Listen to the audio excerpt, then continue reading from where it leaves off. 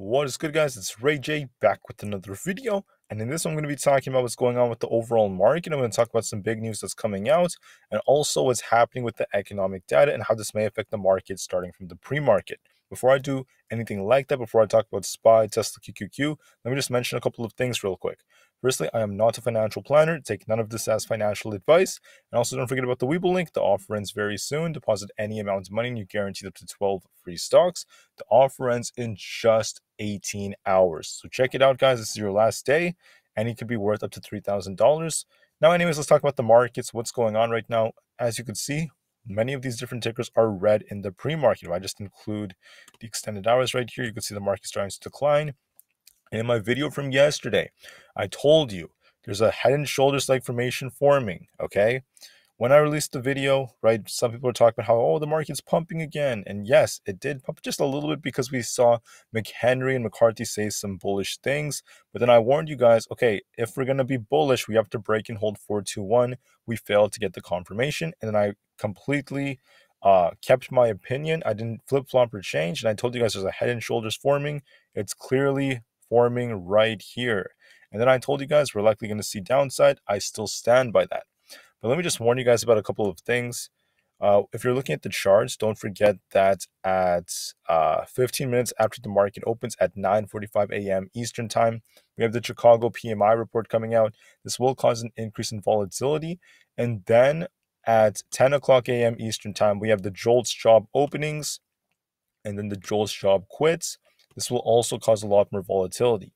This is going to be very important for the Fed's policies. Don't forget about all of this data that's coming out every 15 minutes, basically, and then one hour after the market opens at 10:30 a.m., we have some data from the Fed coming out, which is as significant as the JOLTS data. So be on the lookout. We have big data coming out. We have some Fed speakers later on. We have Harker, Jefferson, Bage, and a couple of others.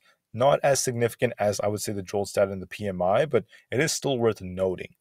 Now, as the data has come out, we can see for now the stock futures are falling as traders are awaiting the debt ceiling progress in Washington. And you have to be very careful with this. From a technical standpoint, the market looks bearish. The market's likely going to see some downside temporarily. But if we get a lot of progress on this debt ceiling deal, because it's going to be passing the House, right? So, first, Biden and McCarthy made the agreement, right? But they are not in full power over the debt ceiling right? We have a polycentric system. Now the debt ceiling uh, deal agreement has to pass through Congress. It's going to be passing the House for a vote, okay? And it's going to happen today, later on today. I think in many, many hours from now, they're going to be negotiating and voting on it. It's going to take a while, of course. Uh, this is going to be very important. The moment this news comes out, this could cause the market to bounce but it's likely going to take many, many hours and not happen immediately, and the market's going to likely drop before that ends up happening. However, there's also no guarantee they get the vote in today. So, like I said before, I don't know when they're going to finish the vote. I mean, we have a couple of days left. So I'd rather just be very patient and see what happens. But for now, McCarthy and McHenry are saying some positive things. But anyways, we'll have to wait and see on that. Uh, yes, this could cause the market to bounce, but I just don't know when this is going to come out. Uh, I will try my best to release a video the moment this comes out just to warn everyone, but it's likely going to take many hours, if not a couple of days, for this to happen. Now, besides that news about the debt ceiling, if we just throw that aside, I believe the market has downside coming, and it's likely going to happen anyways before the vote is in. It's extremely likely. Okay, and here's the reason why. If you look at the 30 minute time frame, we got this crossover as soon as yesterday on the PPO the PPO opened up like this, we started to curl a little bit for an attempt for the bulls to, you know, break this trend, and they failed. We failed at 421. We failed miserably. And then the market just started trading sideways and we formed this right shoulder. So we had this left shoulder, the head, the, the right shoulder has formed.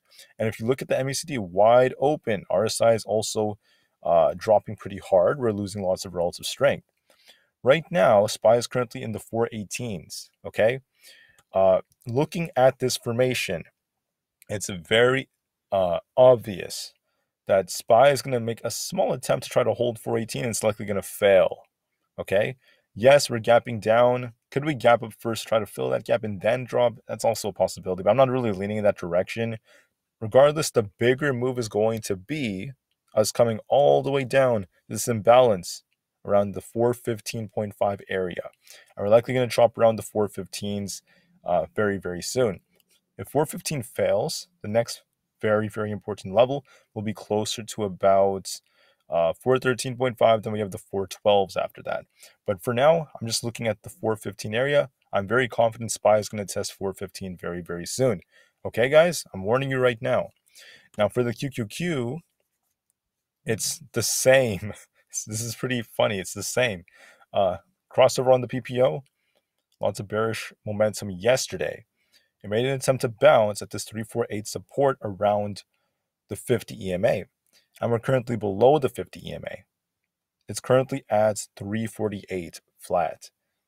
So what am I seeing on here? Well, it has this imbalance all the way down in 340. I'm not saying it's going to come that low, but that could depend. But the next level to watch from the QQQ is going to be this 345 support. The QQQ is likely going to come down and retest 345, and it may make an attempt to either bounce here. So you have to watch for confirmation. If 345 fails us, it is most likely going to retest 342 to about 340 between this 342 to 340 zone because we have this imbalance right here because the algos will likely start selling if we get that break. And the algos are going to dictate the price of this. So that's what I'm seeing on the triple Q. The odds favor more downside. Uh, last but not least, for Tesla, I know I forgot to mention this yesterday. I'm sorry, so sorry about that. Uh, Tesla had a bearish divergence developing, and it's likely going to see a slowdown. However, it's holding up very nicely compared to the market. It has some relative strength to it. As the market sells off, it's very likely Tesla's going to retest uh, 198 to 197.5. Tesla could try to hold it if we get enough buyers, but it's likely going to drop just a little bit. And then we'll see how much Tesla tries to hold. Because, like I said before, Tesla has some relative strength, but I'm seeing it likely retesting 197.5. And if that fails, and I think the odds do favor that.